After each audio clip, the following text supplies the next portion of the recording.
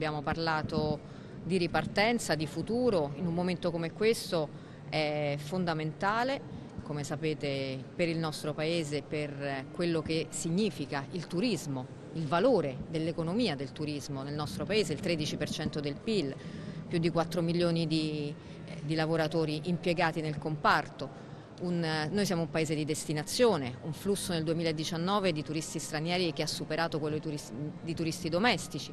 È necessario riposizionare il nostro paese nel mondo, lo ha detto Lorenza Bonaccorsi, sottosegretario al MIBACT, che oggi era presente all'incontro tra il sindaco di Firenze Dario Nardella con 19 ambasciatori per presentare loro il progetto Rinasce Firenze. Firenze e la Toscana sono zone sicure dal punto di vista del virus, ha detto il primo cittadino. C'è la volontà da parte dei paesi stranieri di aiutare Firenze nella crisi economica post-Covid.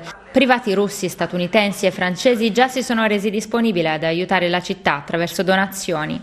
Abbiamo chiesto agli ambasciatori di aiutarci ad aprire nuove università straniere che si aggiungerebbero a quelle già numerose che abbiamo, centri di ricerca per lavorare insieme su tutto il campo dell'alta formazione. Molte delle nostre imprese sono legate a eh, fondi di investimento, gruppi imprenditoriali di altri paesi e abbiamo ricevuto da parte, devo dire, di tutte le delegazioni una grande rassicurazione sul fatto che eh, questi paesi vogliono continuare a investire su Firenze. Eh, creeremo una delegazione di sistema, Sistema Firenze, che eh, visiterà le principali capitali del mondo non solo per chiedere aiuto, ma direi soprattutto per eh, stringere nuove alleanze e nuove collaborazioni.